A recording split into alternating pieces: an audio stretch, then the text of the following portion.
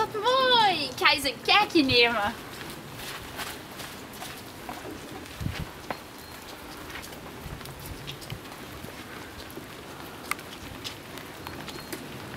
Wauw, zo prachtig. Een verjaardagskaartje. Van wie zou dat zijn?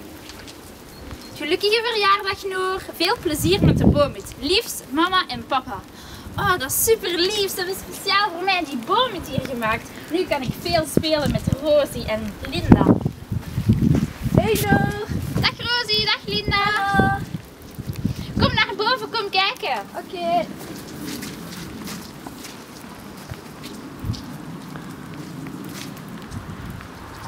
Het is een mooie boomhut, vind je niet?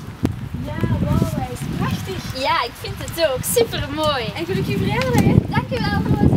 Gelukkige verjaardag. Dankjewel Linda.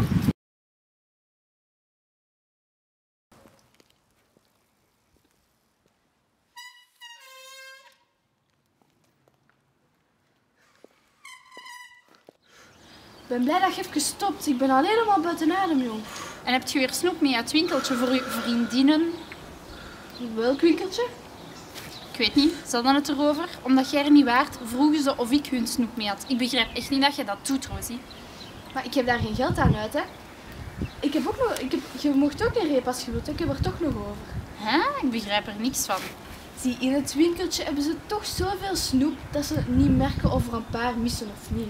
Dus jij steelt, Rosie. Je bent een dief. Ik had dat echt niet van u gedacht. Het is niet omdat ik af en toe eens iets meeneem dat ik een dief ben. Hè. En jij bent ook geen heilige. Hè. Jij hebt in je leven ook al veel foute dingen gedaan. Zeg. Dat heeft er niks mee te maken. Hou Linda er buiten. Maar ik betrek Linda daar niet bij. Laat het verleden achter u. Linda is dood. Daar gaat niks aan veranderen. Hè. Maar wacht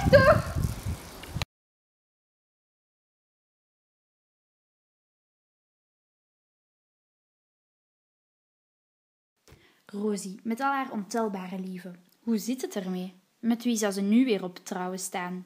En zou ze nog stelen? Eigenlijk weet ik niet goed of ik tevreden ben of juist verdrietig omdat ze uit mijn leven verdwenen is.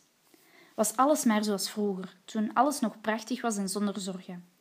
Linda, Rosie en ik samen spelend in de boomhut.